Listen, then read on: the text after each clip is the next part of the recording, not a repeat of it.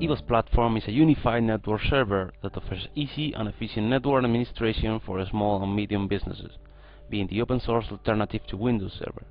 In this short video, you will learn how to configure a typical network for a small office. This typical scenario consists of eBox connected to your DSL or cable modem on one interface and your local network on the other.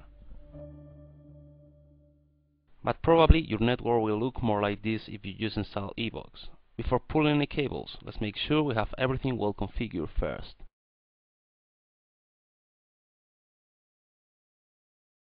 To start configuring eBox, you have to type your eBox's address in your browser and log in with the password you picked at the installation.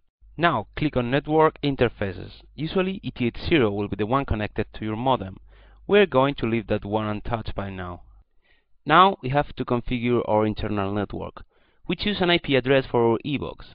It is common practice to use the .1 address for the gateway, so we choose that.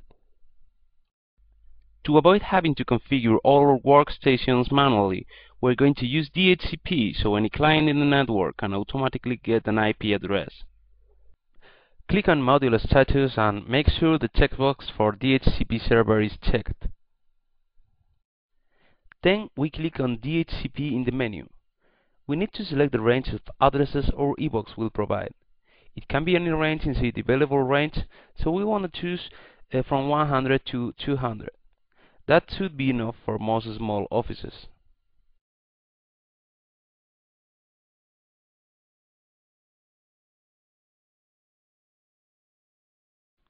Now we can click on the Save Changes button.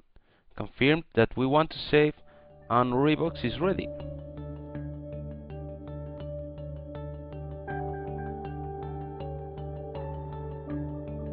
We hope you enjoyed this demonstration. To download eBox platform and watch other videos like this, please visit eboxplatform.com. Thank you.